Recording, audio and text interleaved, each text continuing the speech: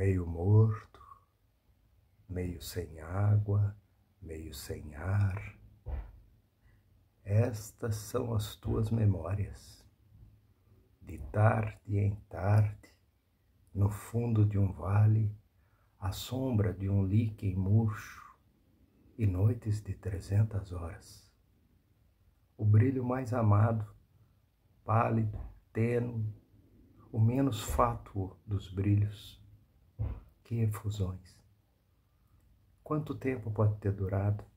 Cinco, dez minutos? Não mais. Sim, não mais, não muito mais.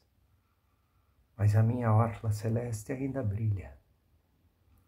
Antigamente contava, contava até trezentos, quatrocentos, e ainda com outras coisas, as chuvas, as campanhas, a conversa dos pardais ao amanhecer, contava.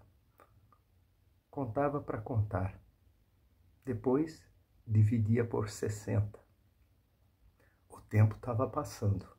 Eu era o tempo. Eu comia o universo. Agora já não. Você muda ao envelhecer.